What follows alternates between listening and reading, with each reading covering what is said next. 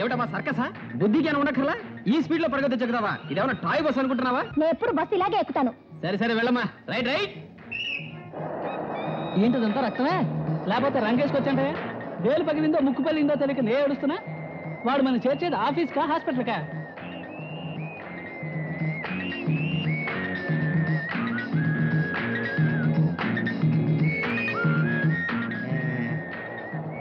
చీ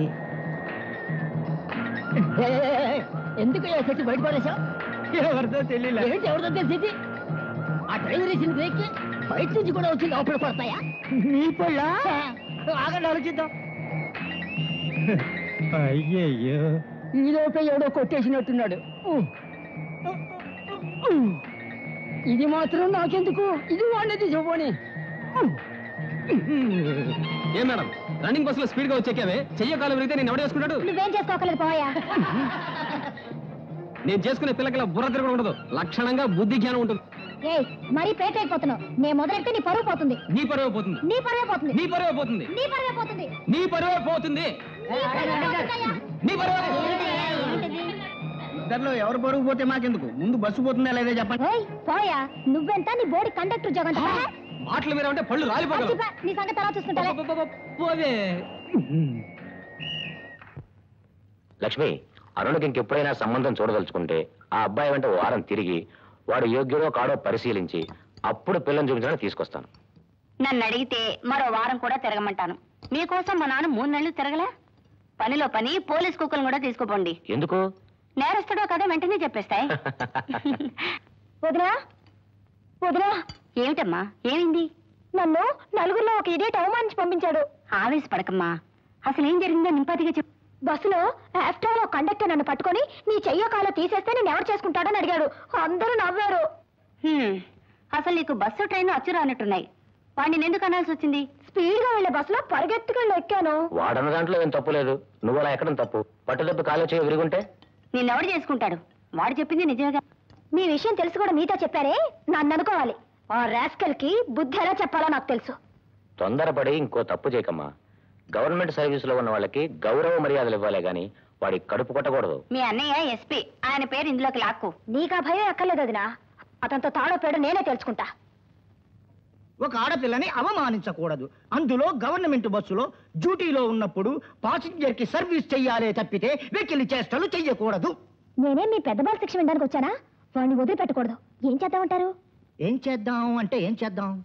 ఆ, ఈ తడవ క్షమించి వదిలేద్దాం. దీనికి ఆలోచన ఏమిటి సార్? అంత తలబిరుసుగా ఉండేవాడు ఉద్యోగానికి పనికిరాడు. ముందు వాడిని ఉద్యోగం నుంచి తీయించాలి. తీయించేద్దాం అంటే తీయించేద్దాం. ఎందుకంటే నువ్వు ఎస్పీ గారి సిస్టర్వి. నా వల్ల జరగకూడని తప్పు ఏదైనా జరిగింది అంటే వారికి నా ముఖం చూపించుకోగలనా? మీరు ఈ కేసు టేకప్ చేస్తారా లేదా? నేను కాలేజీ యూనియన్ సెక్రటరీని. ఆధార్నే మీరు కోర్టుకు వెళ్ళాలి. జ్ఞాపకం ఉందిగా? జ్ఞాపకం ఉంది తల్లి జ్ఞాపకం ఉంది. మీ కాలేజీలో మొత్తం మూడు వేల మంది ఉన్నారు. నేను ఎందుకు రొంపిలో దిగడం? నువ్వు ఫీజు ఇస్తున్నావు నేను కేసు ఆర్గ్యూ చేస్తున్నాను. ఆ తర్వాత ఏదైనా జరిగితే ఆ బాధ్యత మీదే. ఏంట్రా డ్రెస్తోనే వచ్చేసావు? స్ట్రైకా. ఒంట్లో బాగానే ఉంది కదా? అది కాదురా. సెలవు పెట్టావా? అది కాదురా. ఇవాటి నుంచి పర్మనెంట్గా రూములోనే ఉండిపోతాను. సస్పెండెడ్ సస్పెన్షనా ఏం తప్పు చేసావు సస్పెండ్ చేయడం? తప్పేం కాదురా. ఒక అమ్మాయి వెడుతున్న బస్సులో ఎక్కింది. ఆ అమ్మాయి నేనేం అనలా? సరదాగా చెయ్యో కాలు విరిగిపోతే నీకు పెళ్ళిలా అవుతుంది. ఇంకెప్పుడు ఇలా వెళ్ళే బస్సులో ఎక్కదమ్ముడు అని చిన్న ఉపన్యాసం తెచ్చా. ఆ పిల్ల డిపార్ట్మెంట్లో రిపోర్ట్ ఇచ్చింది. రిపోర్ట్ ఇచ్చిన తర్వాత ఏం జరుగుతుంది? సస్పెండెడ్. పర్వాలేదు ఆ అమ్మాయి పని పడతాలే. వదిలేరా పట్టుదలకపోతే ఊరు నుంచి తరిమేస్తుందో ఏమో. పోరా ఈ కండక్టర్ ఉద్యోగం నమ్ముకున్న ఈ ఊరు వచ్చాను. నాకున్న లక్ష్యమే వేరు. అది నెరవేరే వరకు నాకు నిద్ర పట్టదురా. నాకు అసలు బీపీ షుగర్ కంప్లైంట్ పరిగెత్తలేను బాబు నీకు అన్నం పెడతాను ఆగరా బాబు ఆగరా. అలిపోతుందిరా బాబు? పరిగెత్తలేను బాబు ఊరే ఆగరా. అరే. అమ్మ బాబాయ్. అరే పెద్ద మనిషి. అమ్మ, అరే అరే. అమ్మ. ఏయ్ పెద్ద మనిషి. అమ్మతో నిలుచుకో అమ్మతో వస్తున్నాడు నిలుచుకో అమ్మతో పెద్ద మనిషి. పైసలు పుచ్చుకున్నప్పుడు నిలబడి పుచ్చుకున్నావు. ఇప్పుడు పారిపోతావు. అందుకే అప్పంటారయ్యా. దీనివల్ల నాకు కేసు నష్టం. నీ క్యాష్ నష్టం అయ్యా నాకు ఒక కేసే నష్టం. అవును నన్ను ఇప్పుడు ఎందుకు పట్టుకున్నావు? ఒరే సైతాన్ నిన్ను పట్టుకుంటే నాకు డబ్బులు వస్తుంది. సైతాను పట్టుకుంటే డబ్బులు రావు. దరిద్రం వస్తుంది. ఏమిటా? నీ దగ్గర డబ్బులు వసూలు చేయకుంటే నాకు నిద్ర పట్టదు. ఇదిగో సేటు నీ దగ్గర అప్పు తీసుకున్నప్పటి నుంచి నేను పచ్చి మంచినీళ్ళు తాగడం కూడా మానేశానయ్యా. ఏం? నువ్వే కల్లోకి వస్తున్నావు. పోనీ సారా తగు. ఏం తమాషా ఉందా? కాబోలోడి దగ్గర అప్పు తీసుకున్నారా? అవును. పోయి పోయి వీడి దగ్గరే తీసుకున్నారా? పోనీ ఇంకెవడన్నా ఉంటే చెప్పు వాడి దగ్గర కూడా తీసుకుంటాను. ఆ మాట అంటే మీకు సిగ్గు లేదు? ఎందుకయ్యా సిగ్గు? ఇండియానే అప్పు తీసుకుంది. కానీ నేను మాత్రం అప్పు తీర్చేస్తాను. ఎందుకయ్యా అప్పు చేసి బతకడం? మాలా దజ్జాగా బతకొచ్చుగా? మీ బతుకులు ఏమిటో నాకు తెలియనుకోకండి అయ్యా. నీ పేరు లంచావతారం. నీ పేరు కమిషన్ కృష్ణమూర్తి. నేను మీలాంటి వాడిని కాదయ్యా.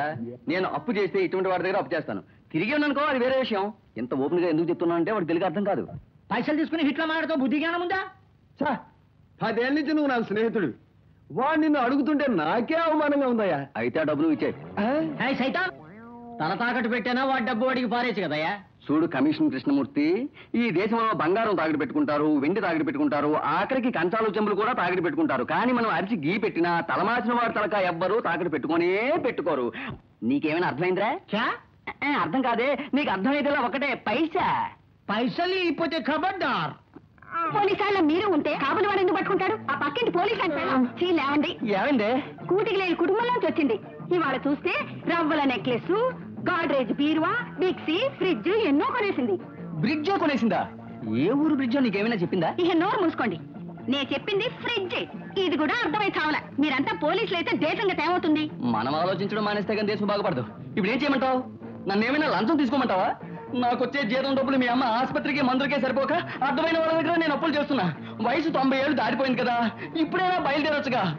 నూరేళ్ళు బతుకుతాను నాయనా అని మార్కండే శబ్దాలు చేస్తుంది మొన్న. పెద్ద గవాస్కరు సెంచరీలు బతికేసి కప్పులు సంపాదిస్తుంది. ఏదో ఒకరోజు చూసి చూసి నేనే ఆసుపత్రికి పోయి కోడి పీక నులిమినట్టు ముందు మాత్రం పారేస్తాను. ఇదిగో చెప్తున్నా నన్ను ఎంత ఏడిపించినా భరించాను. మా అమ్మ గురించి మాట్లాడావో నేను అసలే మంచి మనిషిని కాను. అది నాకు తెలుసుగా. వాళ్ళతో నెత్తి నోరు కొట్టుకున్నా. ఈ పోలీసు వాళ్ళ సంబంధం వద్దు వద్దు అని విని చావలా. ఏయ్ ఈ సీతాపతి సంగతి నీకు ఇంక తెలియదు అసలు నేను కలెక్టర్ గారు అమ్మాయినే పెళ్ళి చేసుకోవాల్సింది. ఓ చిన్న లిటికేషన్ వల్ల ఆ సంబంధం తప్పిపోయింది. ఏమిటి? ఆ పిల్లకి నేను నచ్చలా. నేను తప్ప నేను ఎవరిని చేసుకుంటుంది? చిపోయా ఏంటి మర్యాద తగ్గుతోంది? ఏం చేస్తావే? డబ్బలం పెట్టి నోరు కుట్టేస్తాను జాగ్రత్త. ఏమిటి? డబ్బలం పెట్టి నా నోరు కుట్టేస్తావా? ఇవాళ నుంచి నేను నీతో మాట్లాడను నువ్వు నాతో మాట్లాడదు ఉద్ధరించి పో. సర్లే పోవయ్యా. హాస్పిటల్లో మీ అమ్మగోలా కొంపకొస్తే నీ గోలా. నీకే చెప్పేది. రామ్మా తలడితానంటే చాలు ఆర్భాటం. కూర్చో కూర్చోనట్టుంటే ఏం చేస్తున్నారా బొమ్మలు వేస్తున్నాడు అరే రే ఫోటో తీసి నా బొమ్మ గీసాడే. వెరీ గుడ్ మా స్కూల్ డ్రాయింగ్లో నేనే డాడీ ఫస్ట్. నువ్వే ఫస్టా? నా బిడ్డ అనిపించావు శబాష్ రా మీ పౌడతలు ఆపుతారా బొమ్మలు వేయటంలోనూ తుపాకీ పెంచటంలోనూ ఫస్ట్ వస్తే చాలదు. ముందు చదువులు ఫస్ట్ రావాలి. పో. పోరా. పోయి పుస్తకం తీ. ఎందుకు వాడిని కోపడతావు? టైం అవుతున్నట్టుంది. ఫిఫ్త్ ఫ్లోర్కి పోనీ. ఆగండి సార్. ఇంకెవరైనా వస్తారేమో చూద్దాం. మీ ఒక్కరి కోసం పైకి కిందకి రాలేను. ఫిఫ్త్ ఫ్లోర్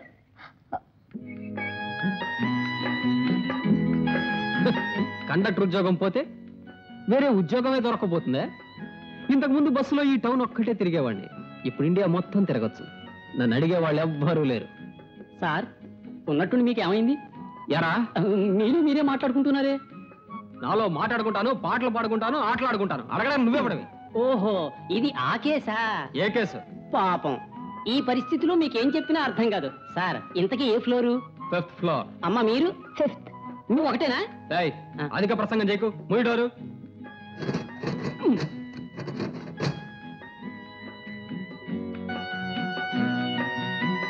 అరే లిఫ్ట్ ఆగిపోయింది. హలో ఏమిటి పవర్ కట్టా? లేదు సార్ ట్రాన్స్ఫార్మర్ రిపేర్.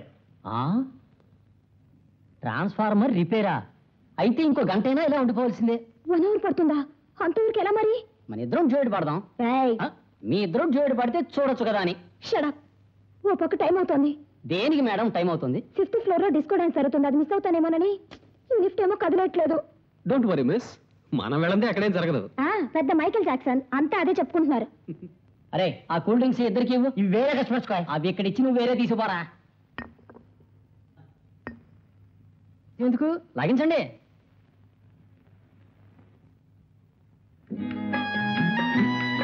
తమకేమిటి అభ్యంతరం? నోరుమీరా పిల్లకాకి. నేను ఎప్పుడన్నా